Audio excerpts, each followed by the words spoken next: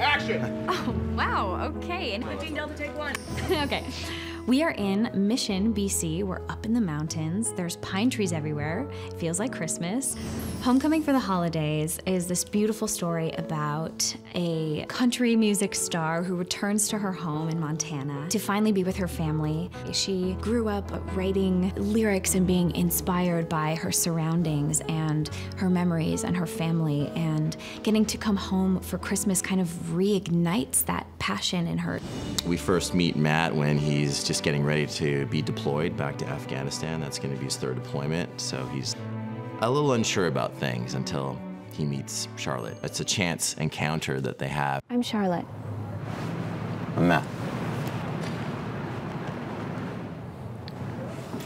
There's an initial spark that both of them feel, and then they don't see each other for a couple years.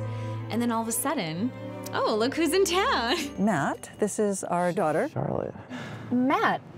What's interesting about the relationship between Matt and Charlotte is that Matt's quite emotionally contained. He's been hurt. He's been at war and obviously seen a lot and experienced a lot. And Charlotte is such an open heart and just a bright star, and it's wonderful to see how she tries to open him up. Stephen's awesome. We've been laughing a lot. I've had a few like great talks already. He's so well suited for this role.